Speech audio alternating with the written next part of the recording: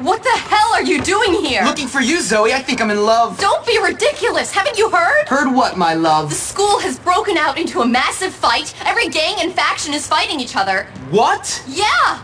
Oh man, I gotta go. How am I gonna deal with this? I'm gonna need some serious backup. Where's Russell? Where's your buddy Edgar? Russell has been holed up in the Wonder Meat slaughterhouse, hiding from the cops. He's worried about going to prison after stealing that bike. Russell can comprehend prison? Wow. Look, I'll see you later. Well, what about love? It'll have to wait, Zoe. Duty calls.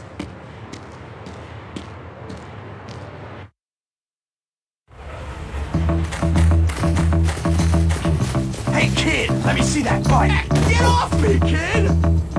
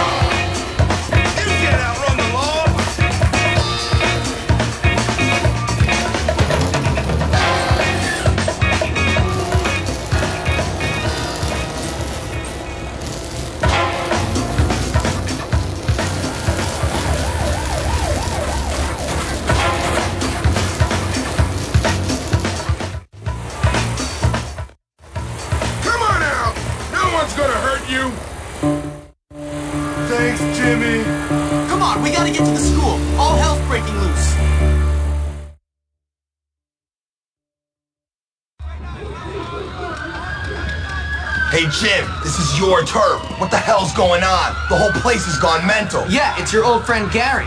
He's the one causing all the trouble. The kid's a complete psycho, and now he's got the teachers and prefects on his side. So? So, we run in there, try to stop the fighting, and find a way to deal with Gary. Alright, one question. How are we gonna stop a load of kids from beating the crap out of each other? It's America! We go in there with threats and bribes until we get what we want. If all else fails, we beat the crap out of everyone. That's why I brought along backup. Russell likes to hurt people for peace. Cool. Then it's a plan.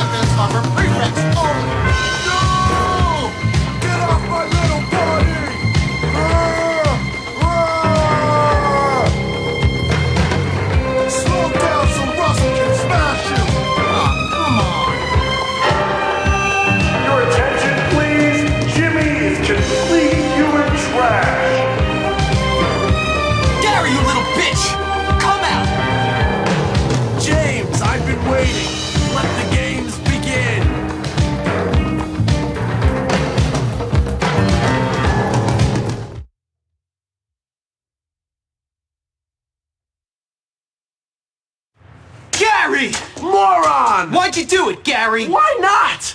I won! I tricked everyone! Starting with you, the head, the loser kids in town, and the prefects! Me! I won! You are sad, man. I might be sad, but I run your world, moron! And don't you forget it! You did all my dirty work for me, Hopkins! You're like a puppet, only dumber! Whatever. Let's finish this.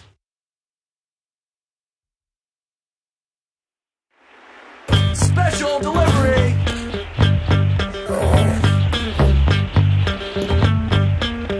Heads up! If you prove to me one thing this year, it's slow! You'll never catch me, Hopkins! You're too trusting, Jimmy. From the start, you were pathetically naive.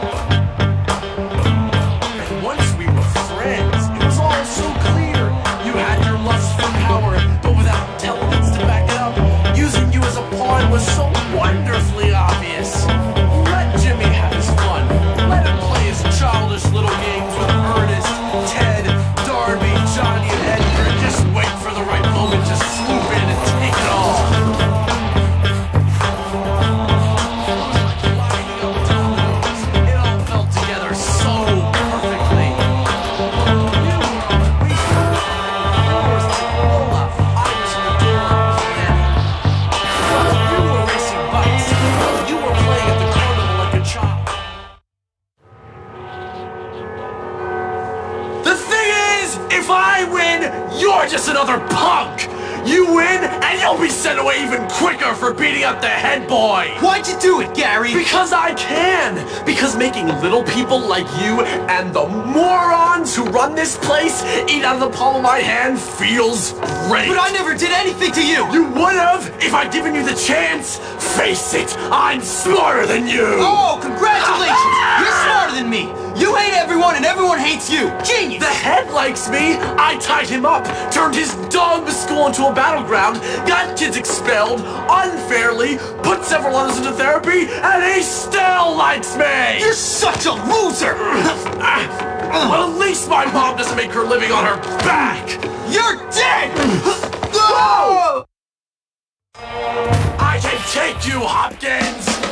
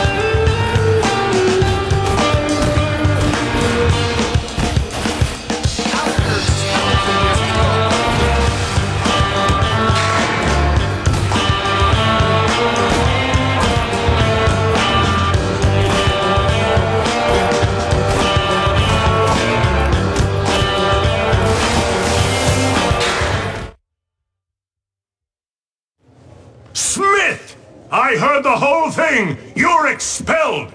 Come and untie me, boy! Yes, sir. Sorry, didn't see you there. You know, I think I may have judged you too unfairly, boy. Yes, a little rough around the edges, but you're a diamond, boy. A diamond. Thank you, sir. Now take out the trash, would you, Hopkins? My pleasure. So it was you who took on this monstrous little wretch, was it? Yep. What a hero! A lone wolf! Uh huh. Well, no. To be honest, sir, I did have a lot of help from some friends. Like this girl Zoe. She got expelled because she complained about Mr. Burton hitting on her. Burton? Well, he's fired! I hope he rots in hell! And a guy named Peter Kowalski, good friend of mine. Never heard of him. Yeah, well, he keeps quiet. He's kind of shy. Shy? The boy must be a genius. Why, he should be head of the school. Pete? Great idea. Now, about that letter to my mother. What letter?